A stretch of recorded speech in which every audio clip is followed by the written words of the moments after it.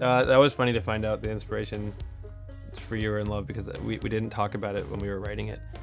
It's something that she told me later, which is which is wonderful. You know, I always I always said to her if I ever uh, if I ever get married, this, you have to play this at my wedding.